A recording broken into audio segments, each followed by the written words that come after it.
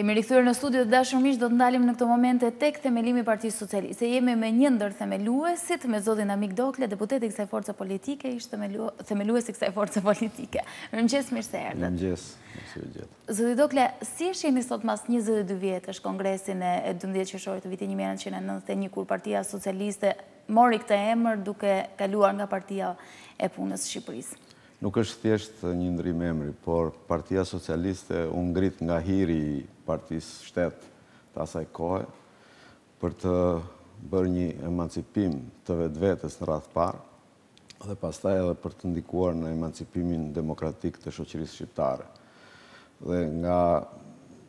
Ai dymbëdhjetë qershor deri sot, Partia Socialiste ka një histori të shënuar në jetën politike të Shqipërisë, ndërkohë i është bashkuar ose ka punuar fuqimisht për të mbrojtur disa kauza të rëndësishme për zhvillimin demokratik të Shqipërisë, për integrimin europian të saj. Që në momentet e para të jetës së saj, Partia Socialiste u çfaq si një forcë me demokraci të brendshme, si një forcë që vinte në plan të parë kontaktet me njerëzit e thjeshtë, me problemet, me hallet e tyre. Ndërkohë pastaj gjatë këtyre viteve Partia Socialiste ka mbrojtur kauza të mëdha, siç është kauza për lirinë politike në rastin e burgosjes së kryetarit të saj, ku gjatë disa viteve Partia Socialiste ishte flamurtare e mbrojtjes së lirive politike, jo thjesht për kryetarin, por përgjithësisht për gjithë shoqërinë shqiptare dhe në tërësi për forcat e tjera politike, për njerëzit e thjeshtë, për intelektualët, për shtypin e lirë, e kështu me radhë. Më tej, një nga kauzat e tjera të Partisë Socialiste ka qenë ripërtritja e Shqipërisë pas ngjarjeve të 97-ës, ku Partia Socialiste me qeverinë e saj e gjeti Shqipërinë totalisht të shkatërruar, pa polici, pa shkolla, pa banka, pa spitale, pa asgjë, dhe në dy vitet e para bëri një ripërtritje të plotë të kësaj gjëje. Do të theksoj edhe një tjetër element të punës së Partisë Socialiste dhe të qeverisë së saj, siç është viti 1999, kauza e çlirimit të Kosovës, ku Partia Socialiste ishte një forcë vendimtare, flas për terrenin shqiptar, sepse në në tërësi pastaj janë kontribute të UÇK-së, kontribute të NATO-s e kështu me radhë. Një nga kauzat e tjera që tashmë është bërë historike për Partinë Socialiste është mbrojtja e votës së lirë. Sepse që nga 95-a e këtej, vota e lirë në Shqipëri nuk ka qenë asnjëherë e garantuar dhe Partia Socialiste ka qenë ajo forcë politike që ka luftuar ligjërisht edhe politikisht për të mbrojtur votën e lirë të shqiptarëve. Zoti Dokle, të gjitha këto pjesë, të gjitha këto faza që ju përmendët dhe kauza shumë të rëndësishme janë pjesë e një koalic, e një tranzicioni të zgjatur që po kalon shoqëria shqiptare. Po Partia Socialiste ia ka dalë gjatë këtyre viteve të gjata tranzicionit të krijohet si një forcë politike e majtë Apo është detyruar të bëjë kompromise për hir edhe sigurisht të rezultateve zgjedhore që imponohen nga kauza të caktuara? Jo, absolutisht në gjithë veprimtarinë e saj politike dhe qeverisëse kur ka qenë në pushtet, apo edhe veprimtarisë qeverisëse në pushtetin vendor ku Partia Socialiste ka fituar, sidomos në zgjedhjet e fundit që ka fituar edhe shumicën e bashkive të Shqipërisë, qyteteve të rëndësishme, është shquar për një program social, për një program të majtë, natyrisht duke ndjekur në mënyrë krijuese të majtën, sepse e majta ndërkombëtare, e majta europiane, e tjerë e tjerë, kanë përvoja të ndryshme dhe përvoja shumë të mira të zhvillimit të së majtës si e tillë. Dhe natyrisht Partia Socialiste nuk është mbyllur në kafazin e vetvetes apo të të përvojave thjesht shqiptare, por përkundrazi ka ndjekur si pjesë e Internacionales Socialiste edhe zhvillimet politike, zhvillimet programore, zhvillimet sociale dhe ekonomike të përfaqësuesve të së majtës në qeveri të ndryshme në vendet e Europës apo edhe jashtë Europës. Dhe nga kjo pikëpamje edhe në këtë fushatë elektorale, Partia Socialiste shfaqet fuqishëm si një forcë e majtë, me një program social që synon të luftojë papunësinë, që synon të luftojë varfërinë, që synon t'i thotë stop korrupsionit, çka janë elementë themeltarë të një të majte europiane, të një të majte demokratike. Zoti Dokle, ju jeni deputet i vjetër, figurë e Partisë Socialiste, e njihni shumë mirë këtë forcë politike, ku ndryshon Partia Socialiste e nëntëdhjetë e njëshit e sapokrijuar nga Partia e Punës me këtë të dy mijë e trembëdhjetës që përgatitet tashmë të shkojë në zgjedhjet e njëzet e tre qershorit? Unë do të theksoja një ndryshim të madh, të cilin nuk e ka sjellë Partia Socialiste, po e ka sjellë koha.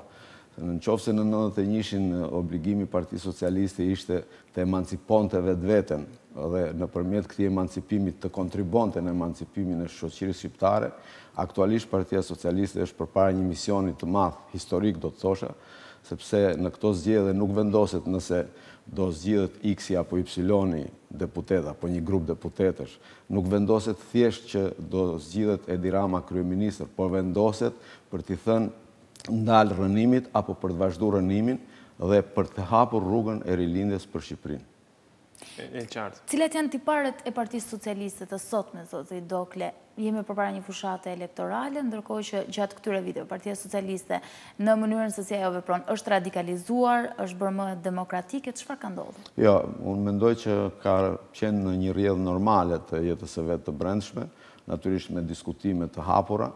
gjë që e shikojmë edhe edhe të gjithë bashkë edhe në media, Në media shikojmë vetëm diskutimet që bëhen brenda Partisë Socialiste, çka do të thotë se është një parti e hapur, një parti e cila pranon brenda vetes të gjitha mendimet para se të merret një vendim, një parti e cila edhe djemtë që dikur i kanë thyer xhamat, u ka hapur dyert dhe u ka thënë mirë se të vini në shtëpinë tuaj, në shtëpinë e gjithë shqiptarëve. Por kjo nuk ka ndodhur me zotin Islami apo me disa emra të tjerë, të cilët sot janë edhe në kampin kundërshtar. Ata që shkojnë në kampin kundërshtar e kanë zgjedhur rrugën vetë, nuk është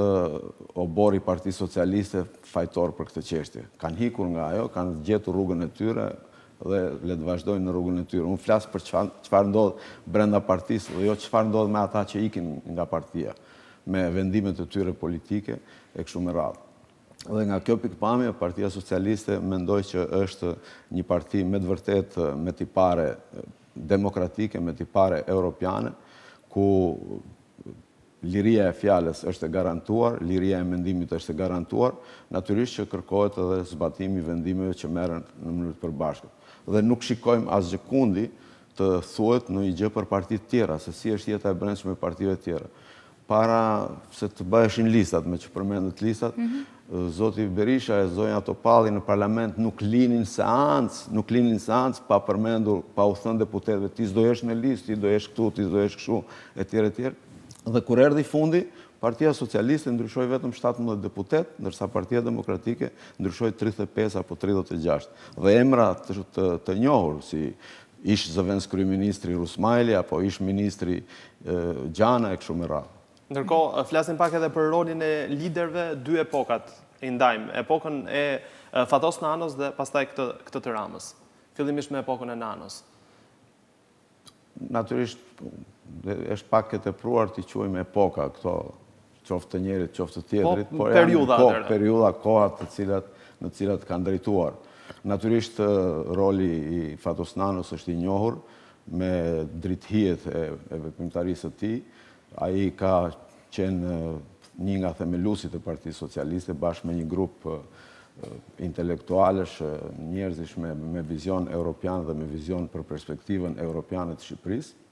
dhe ka atë rol të cilin tashmë të gjithë e njohim, ka bërë sakrifica, sidomos burgosja e tij politike ishte një sakrificë e madhe e Fatos Nanos, por ndërkohë nuk duhet harruar kurrsesi as ne dhe as vetë Fatos Nano sakrificën e socialistëve gjatë viteve të opozitës së parë. Ndërkohë që tani me Edi Ramën ne synojmë një rilindje të vërtetë të Shqipërisë dhe ky është një mision shumë i vështirë, por njëkohësisht një mision shumë fisnik, sepse Shqipëria sot është në në buzë të greminës,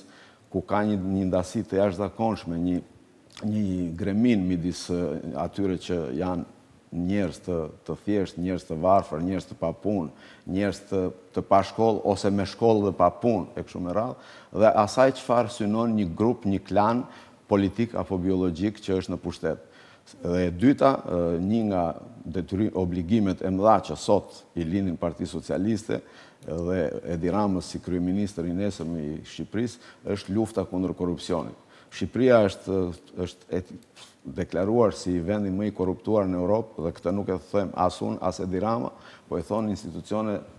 ndërkombëtare prestigjioze si Dhoma Amerikane e Tregtisë, Bashkimi i Biznesmenëve Gjermanë, apo edhe raporti vjetor i Transparencës Ndërkombëtare, që në raportin e vitit dy mijë e dymbëdhjetë e nxirrte Shqipërinë tetëmbëdhjetë vende më poshtë në krahasim me dy mijë e njëmbëdhjetë-ën përsa i përket korrupsionit. Dhe kjo është të zhytësh Shqipërinë edhe tetëmbëdhjetë shkallë më poshtë në greminën e korrupsionit, është një fatkeqësi e madhe dhe një përgjegjësi e madhe.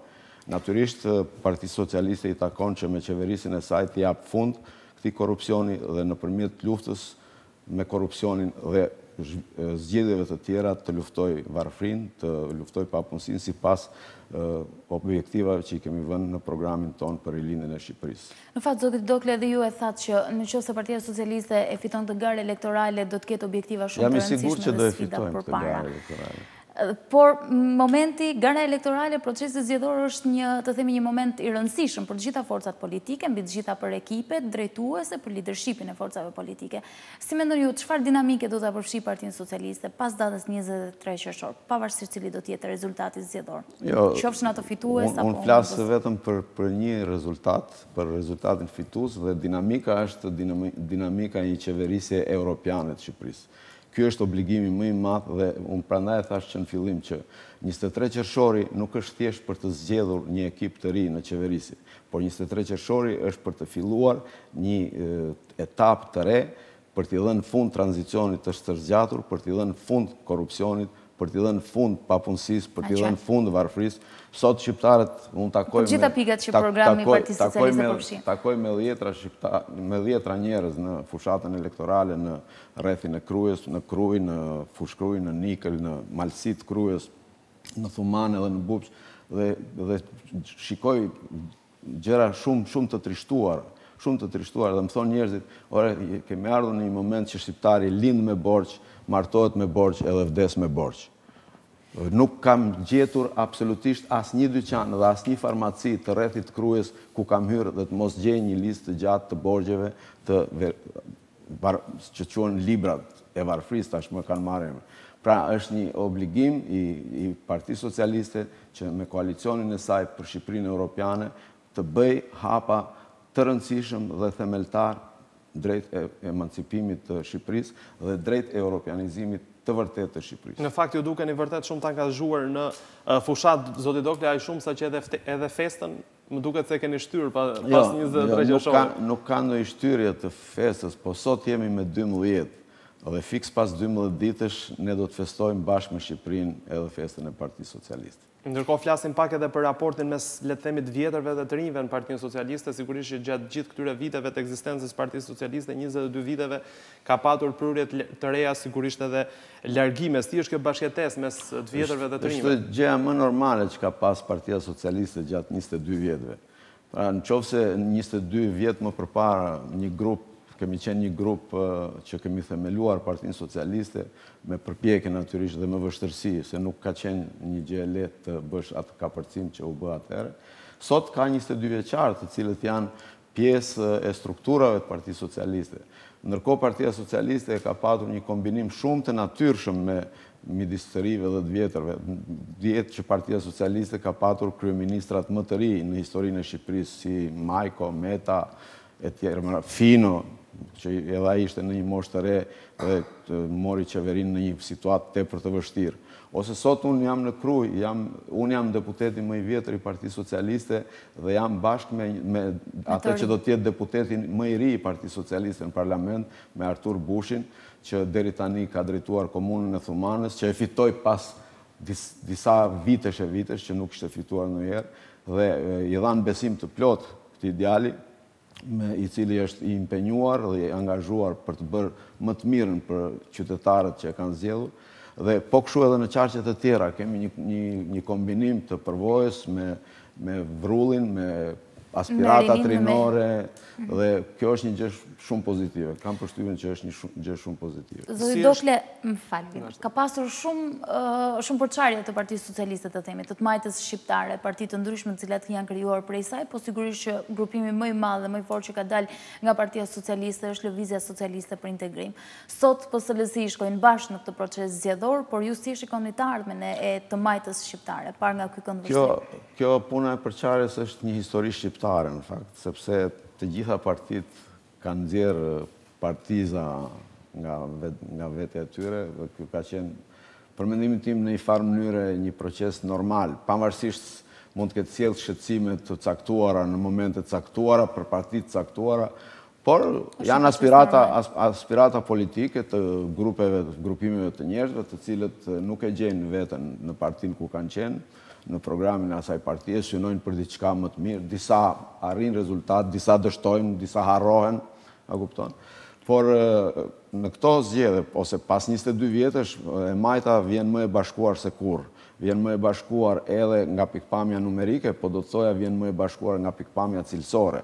Dhe është koalicioni më i fuqishëm dhe i cili ka të garantuar fitoren e njëzet e tre qershorit. Se si do jenë pastaj raportet e mandateve midis partive, kjo është një çështje që e jo, vendos elektorati. Jo, por tej parlamentit, çfarë ndodh me të majtën? E majta, e majta do të qeverisë Shqipërinë mbi bazën e programit të Partisë Socialiste, natyrisht ne respektojmë edhe opsionet e anëtarëve të tjerë të koalicionit, por gjithsesi duke qenë se ne jemi bashkuar të gjithë në një ide, Aleanca për Shqipërinë Europiane, besoj që ky do të jetë një nga misionet e mëdha të qeverisjes për të majtën. Edhe një pyetje të fundit zoti Dokle, cili është roli i figurave kryesore, i themeluesve të partisë në nëntëdhjetë e njëshin, flas këtu për zotin Dritëro Agolli, për profesor Servet Pëllumbin apo edhe emrave të tjerë aktualisht në në vendimmarrjen e Partisë Socialiste, a dëgjohet zëri i tyre? Unë faleminderit për këtë pyetje sepse doja të bëja një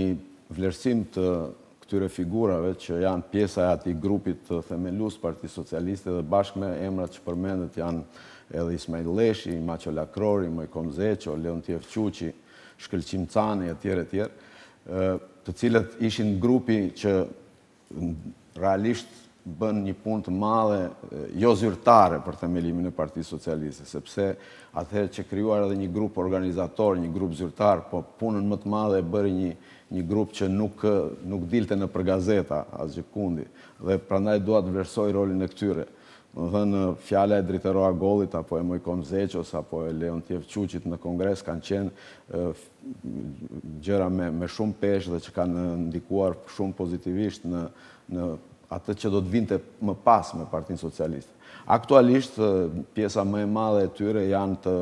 angazhuar edhe në detyra akademike, por njëkohësisht janë shumë pranë partisë, natyrisht ne kemi mënyra të ndryshme për të dëgjuar zërin e tyre, një nga të cilat është krijimi i Këshillit Politik, ku shumica e këtyre emrave që përmendët, po edhe të tjerë si Ylli Bufi, Luan Hajdaraga, Bashkim Zeneli janë pjesë e Këshillit Politik, që natyrisht nuk është një organ vendimmarrës, po ndikon shumë pozitivisht në vendimmarrjen e strukturave të Partisë Socialiste. Pra janë plotësisht të respektuar dhe e respektojnë edhe ata forcën krijuese, forcën politike të cil, për të cilën kanë dhënë kontribut.